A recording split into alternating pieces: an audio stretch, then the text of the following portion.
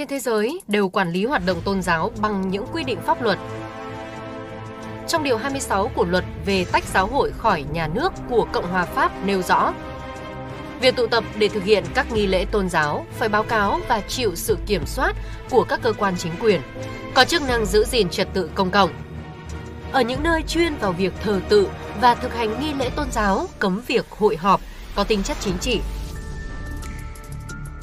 Điều 27 quy định các nghi lễ, các cuộc rước tôn giáo tiến hành bên ngoài khu vực nhà thờ và việc kéo chuông phải tuân theo những quy định của chính quyền tỉnh, thành phố. Luật pháp Cộng hòa Bỉ quy định trách nhiệm hình sự đối với những giáo sĩ có hành vi và lời nói xúc phạm tới chính phủ. Luật pháp sắc lệnh của nhà vua cũng như đối với các hoạt động của chính quyền.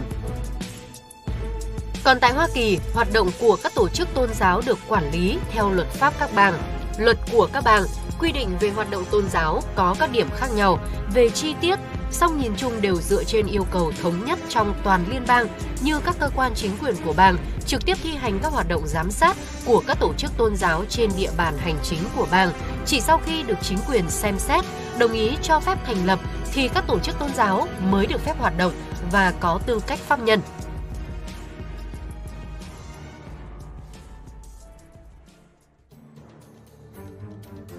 Ở Việt Nam, trong suốt quá trình lãnh đạo đất nước, Đảng Cộng sản Việt Nam đặc biệt quan tâm tới đời sống tôn giáo tín ngưỡng của nhân dân và bảo đảm tự do sinh hoạt tín ngưỡng, tôn giáo. Đây là chủ trương nhất quán của Đảng, được nhà nước thể chế hóa trong hiến pháp, pháp luật. Điều 24 Hiến pháp năm 2013 quy định, mọi người có quyền tự do tín ngưỡng tôn giáo, theo hoặc không theo tôn giáo nào. Các tôn giáo đều bình đẳng trước pháp luật. Điều 3 Luật tín ngưỡng tôn giáo năm 2016 quy định, nhà nước tôn trọng và bảo hộ quyền tự do tín ngưỡng, tôn giáo của mọi người, đảm bảo để các tôn giáo bình đẳng trước pháp luật. Hiện nay, các chính sách pháp luật tôn giáo của Việt Nam đã đi vào cuộc sống, được các giáo hội, chức sắc tín đồ tôn giáo hết sức đồng tình ủng hộ.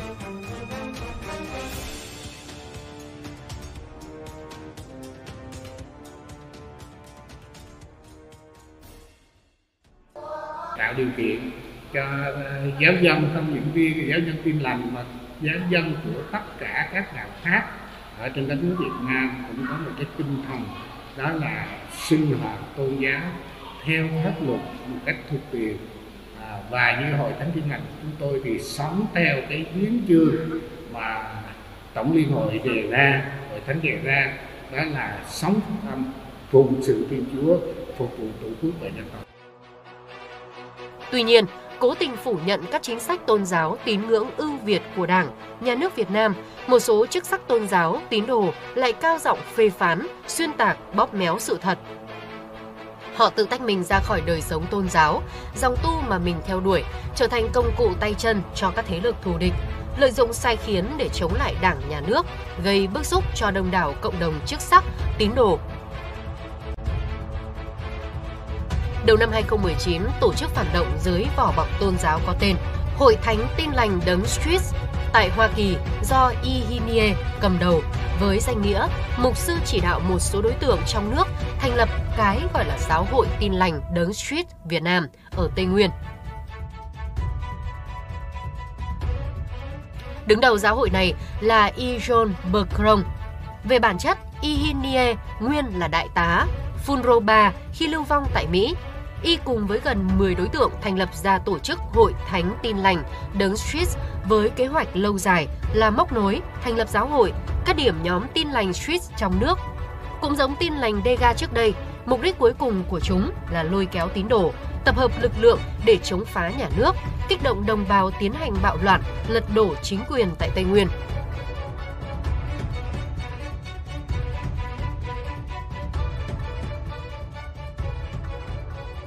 Chiêu bài lợi dụng tôn giáo thể hiện nó rất là nguy hiểm bởi vì rằng là thông qua các cái tổ chức các cái hội thánh à, các cái hoạt động sinh hoạt tôn giáo thì số này lôi kéo và tập trung quần chúng tín đồ lồng ghép những cái tư tưởng dân tộc hẹp hòi ly khai tự trị vào để tập hợp lực lượng tiến tới gây rối biểu tình bạo loạn và cái mục đích cuối cùng là để thành lập cái nhà nước riêng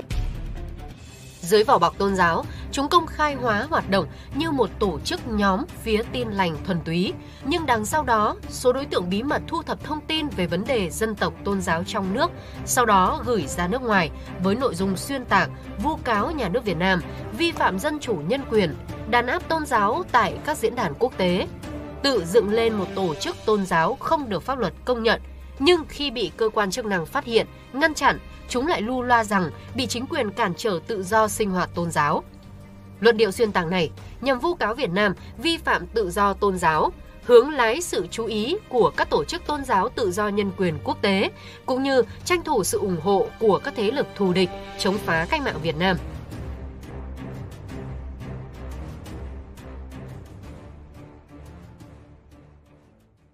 Tăng cường cái vỏ bọc về mặt tôn giáo để lợi dụng những cái quyền tự, quyền con người, quyền tự do tôn giáo, tập hợp lôi kéo lực lượng và nếu mà khi bị phát hiện xử lý thì chúng sẽ lấy đó là cái cái cái lý do để chúng ta, chúng vu cáo ta là vi phạm quyền con người và quyền tự do tôn giáo để nhằm tạo sự chú ý và kêu gọi cái sự can thiệp của các cái tổ chức cá nhân phức tạp ở nước ngoài. Những buổi thông công hành lễ của tổ chức tôn giáo trái phép này được các đối tượng cầm đầu biến thành các cuộc họp bí mật, thu thập thông tin về tình hình dân tộc, tôn giáo để từ đó xuyên tạc, vu cáo chính quyền Việt Nam vi phạm dân chủ, nhân quyền, đàn áp tôn giáo để gửi ra nước ngoài. Ngày 26 tháng 8 năm 2019, nhiều bản báo cáo xuyên tạc đã được Izon và Kasosun trực tiếp mang xuống thành phố Hồ Chí Minh, bí mật gửi cho Tổng lãnh sự quán Hoa Kỳ thực tế thì số bên ngoài đã lợi đã sử dụng lợi dụng những cái số của tài liệu những cái thông tin xuyên tạc của bên trong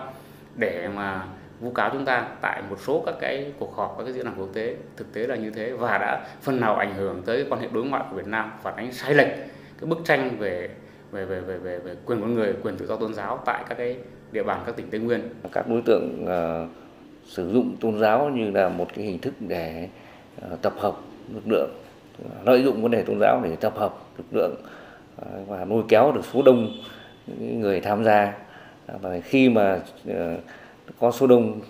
người tham gia thì sẽ lợi dụng cái vấn đề đó để mà ừ, nuôi kéo quần chúng đông đông để tham gia vào các hoạt động chống phá đảng, nhà nước và gây mất ổn định an ninh chính trị trên địa bàn với sự hậu thuẫn của các thế lực thù địch trong và ngoài nước, một số linh mục, chức sắc tôn giáo lợi dụng những thiếu sót sơ hở trong quản lý nhà nước có cơ sở để xuyên tạc, bôi nhọ đảng nhà nước, tranh thủ đức tin của các tín đồ để kêu gọi kích động chống phá. Điển hình là trong sự cố về môi trường biển ở miền Trung vào năm 2016, khi chính phủ đang quyết liệt chỉ đạo các ban ngành, chính quyền các địa phương nỗ lực khắc phục hậu quả, thì với vỏ bọc thể hiện lòng yêu nước, ý thức bảo vệ môi trường, một số linh mục thuộc giáo phận Vinh đã lôi kéo giáo dân biểu tình, gây rối. Ngày 16 tháng 6 năm 2017, dưới sự dẫn dắt của linh mục Nguyễn Thanh Tịnh, hơn 1.000 giáo dân tại giáo xứ Cồn Sẻ, xã Quảng Lộc, thị xã Ba Đồn, tỉnh Quảng Bình đã kéo về trụ sở gây áp lực với chính quyền xã, đòi quyền lợi sau sự cố môi trường biển – Tương tự, hai chủ chăn là Linh Mục Đặng Hữu Nam và Nguyễn Đình Thục nhiều lần tổ chức lôi kéo giáo dân ở các giáo xứ Mạnh Yên, Cẩm Trường, Phú Sơn, Song Ngọc biểu tình, cao giọng công kích, bồi nhọ chính quyền.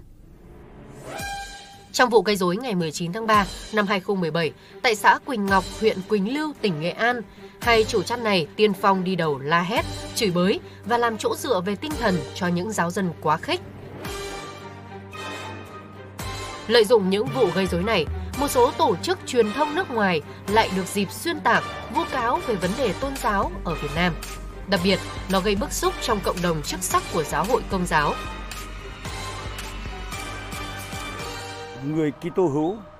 là phải làm tròn bổn phận của cả hai nước, nước trời và nước đời, tức là hai tư cách công dân. Đối với cư công dân nước trời thì không nói, nhưng mà công dân nước đời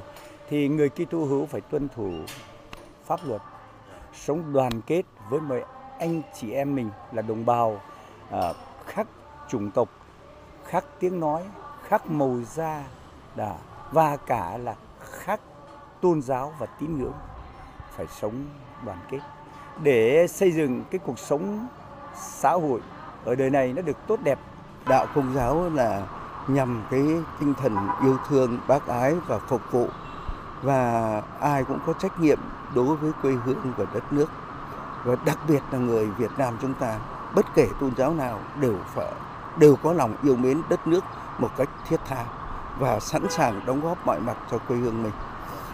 Trong cái trường hợp có một vài linh mục gì như anh nói đó, và trong một vài cái trường hợp nào đó, thì họ với làm việc đó với tư cách cá nhân của họ.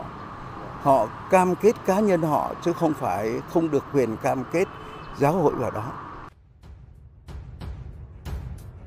Việt Nam là một quốc gia đa tôn giáo và hơn 90% dân số Việt Nam có đời sống tín ngưỡng tôn giáo. Đảng nhà nước ta đã công nhận 43 tổ chức thuộc 16 tôn giáo với khoảng 26 triệu tín đồ, 200.000 chức sắc, chức việc và 29.000 cơ sở thờ tự. Rất nhiều tín đồ tôn giáo hiện nay đã đứng trong hàng ngũ của Đảng. Việt Nam là quốc gia được thế giới tín nhiệm, lựa chọn để tổ chức nhiều sự kiện tôn giáo quốc tế. Nhà nước Việt Nam luôn tôn trọng và bảo hộ quyền tự do tín ngưỡng tôn giáo của mọi người, bảo đảm để các tôn giáo bình đẳng trước pháp luật. Điều đó đã được quy định rõ trong hiến pháp và luật tín ngưỡng tôn giáo. Đây là sự thật không thể chối cãi. Chỉ có những kẻ mang tư tưởng cực đoan, thù địch với mưu đồ chống phá đất nước mới cố tình phủ nhận hoặc không nhận ra điều này.